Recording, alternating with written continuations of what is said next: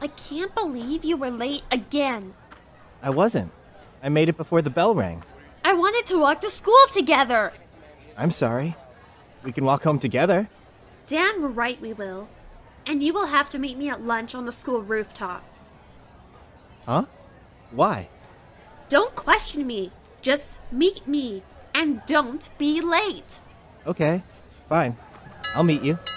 Good. We best get to class. Let's go. Yeah.